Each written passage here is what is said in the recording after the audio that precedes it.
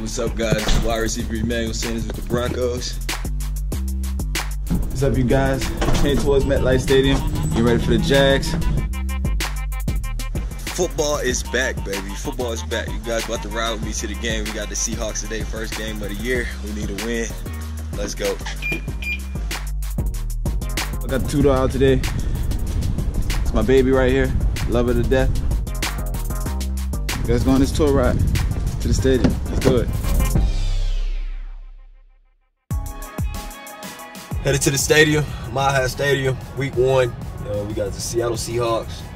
And just drive to the stadium with just jitters. We got a team that's the locker room, the culture, um, it's just so positive. Um, a true brotherhood. Um, and we got a new quarterback. I know Bronco Nation is gonna be excited about. Man, he's a good quarterback. So we're here. It's week one. Preseason's over with. No more waiting around. No more taking players off. No more resting. It's time to get it started. Time to get it heads cracking. Man, it puts a smile on my face just thinking about it.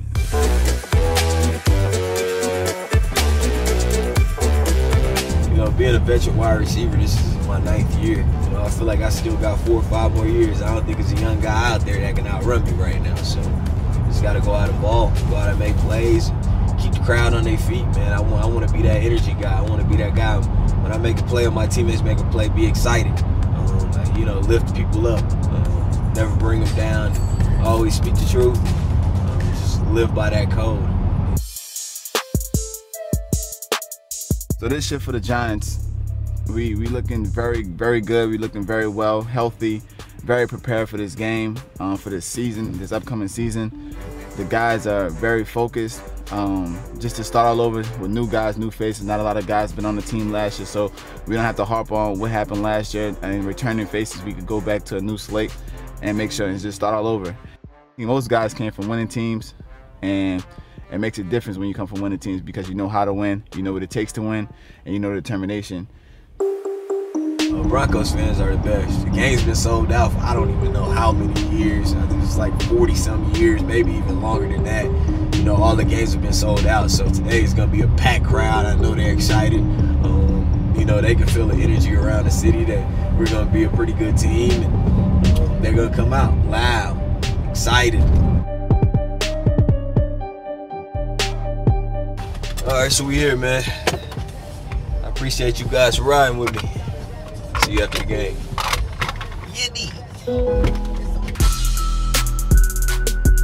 This year in the NFC East, man, I'm very excited towards this year because not many guys, uh, not many teams know what we have up our sleeve or what they're uh, to expect. It's a whole new program, it's a whole new face, it's a whole new coaching staff, whole new defense, whole new offense. So I think it's gonna be a good run for us.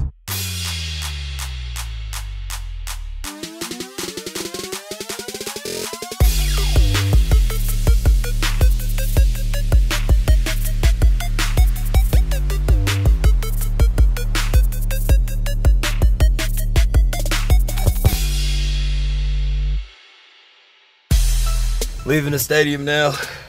Feels good, man. We got a W. Yeah, it felt it felt good to have 130 yards too to start out the regular season. That's everything that I wanted.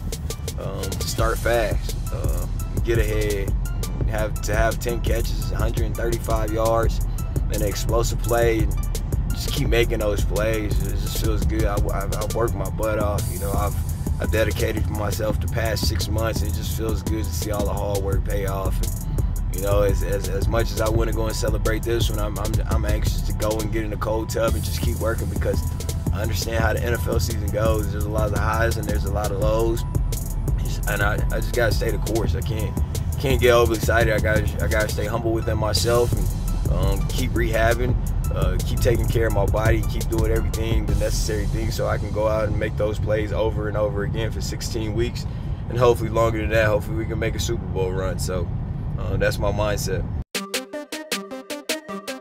What's up, you guys? Landon Collins back here with my girlfriend Victoria after the game. Uh, we had a good close game. Little mental errors cost us the game. And as always, that's always that's always the case scenario.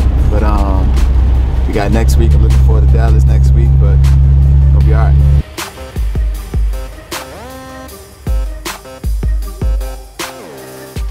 I just pulled up to my house. I'm about to go eat, give me some rest. On to Oakland. So I'm looking forward to next week of, well, actually this week of keep getting better, and hopefully next week we can build on it and be 2 0 um, around this time next week as well. So thank you guys for tuning in. I appreciate you guys coming along on my game day commute. See you next time.